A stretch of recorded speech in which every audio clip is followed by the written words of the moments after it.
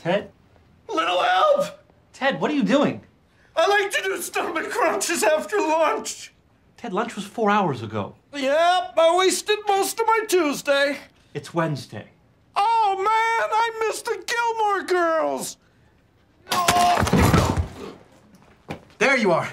Hey, Ted. Hey. So how'd it go last night? Whoa, what's with the fifth degree? Dude, don't you mean third degree? No, because this is two degrees worse. I can't breathe. It's like you're all over me. I'm trapped in a death coffin. Calm down. I just want to see if you got anywhere with Carla.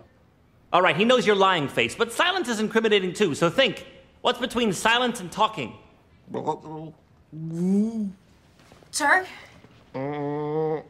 Ted, you should probably sit down. You're looking a little purple. I know my own body.